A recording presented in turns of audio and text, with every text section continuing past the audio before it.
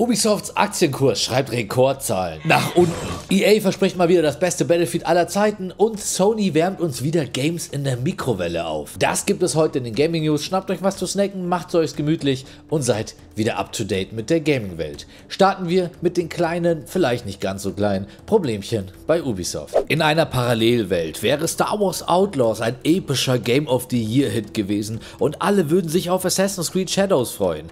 In der echten Welt allerdings konnte Outlaws niemanden wirklich vom Hocker hauen. Warum das so ist, verraten wir euch übrigens in unserer Review. Und auch der Diskurs rund um Shadows ist ziemlich negativ geprägt, auch wenn das Spiel noch gar nicht erschienen ist. Die bittere Wahrheit ist, dass diese Logo-Animation einst ein Zeichen von Qualität war und diese Wahrnehmung sich stark verändert hat. Das scheint aber nicht nur für uns Gamer der Fall zu sein, sondern auch für die Aktionäre. Ubisofts Aktienkurs ist gerade auf einem historischen Tiefpunkt und ist seit dem Release von Outlaws stark gesunken. Oder einfach gesagt das Stonks-Meme nur andersrum. Einer der kleineren Shareholder ging sogar so weit, in einem offenen Brief den Rücktritt des aktuellen Managements zu verlangen. Ubisoft sei demnach ein stark unterevaluiertes Unternehmen, das einfach missmanagt wird und deshalb entweder an strategische Partner verkauft werden soll oder unter neuer Führung in eine bessere Firmenstruktur gebracht werden soll, die zukunftstauglich ist. Beim Stichwort Verkaufen ist Phil Spencer direkt aus dem Schlaf hochgerissen und losgesprintet.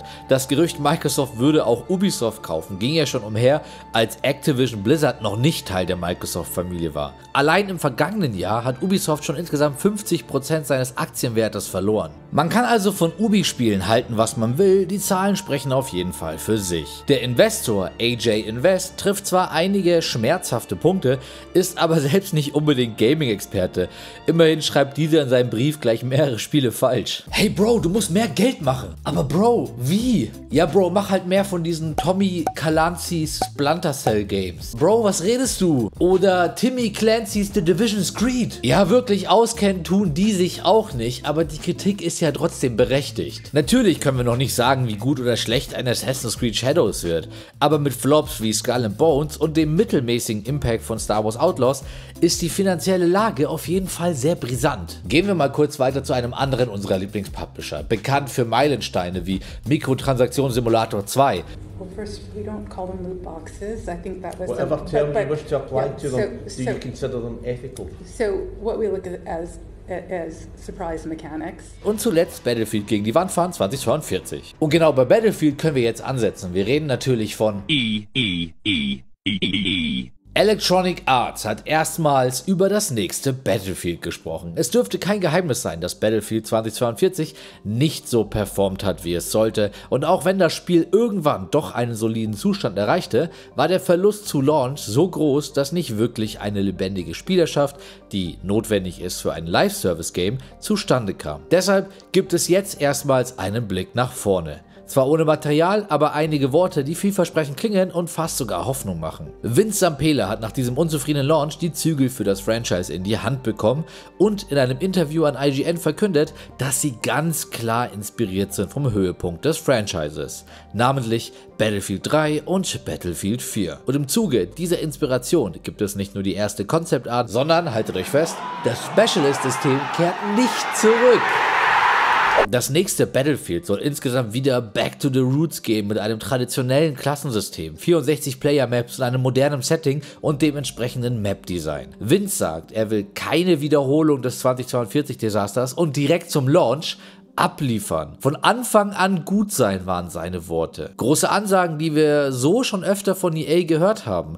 Also haltet eure Vorfreude erstmal im Zaum. Geplant ist ein Release nächstes Jahr, aber interessanterweise spricht das Team auch von Large Scale Community Testing. Sprich, vermutlich dürfen wir auch irgendwann vorher Probe spielen. Eventuell sogar früher als einen Monat vor Release, um dem Team die Möglichkeit zu geben, Anpassungen vorzunehmen. Eine Ankündigung erwarten wir eher erst nächstes Jahr, aber wer weiß, vielleicht gibt es dieses Jahr zu den Game Awards sogar einen Teaser. Aber was meint ihr? Kann EA Battlefield überhaupt zurückbringen? Habt ihr das Franchise noch auf dem Schirm? Oder ist eure Reaktion auf diese News einfach nur... Very cool.